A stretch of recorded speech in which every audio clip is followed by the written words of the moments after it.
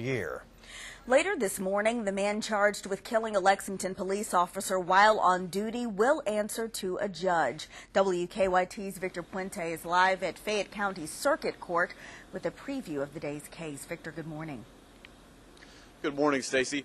An arraignment for 33-year-old Glenn Doneghy is scheduled for 10:30 this morning in Fayette Circuit Court. A grand jury indicted Doneghy last month on a murder charge for the death of Officer Brian Durman. Officer Durman had been responding to a noise complaint and was talking with the driver when he was hit by an SUV on Alabama Avenue. Police say Doneghy was the driver of that SUV. They arrested him after a lengthy standoff at his apartment. Live in Lexington, Victor Puente, WKYT 27 News.